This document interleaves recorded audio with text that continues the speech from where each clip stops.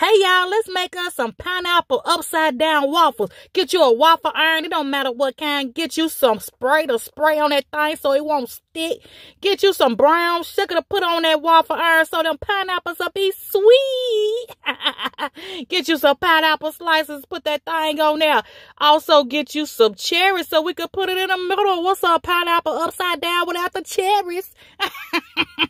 get you some waffle mix. It could be any kind, homemade box. It don't matter still gonna taste like a waffle.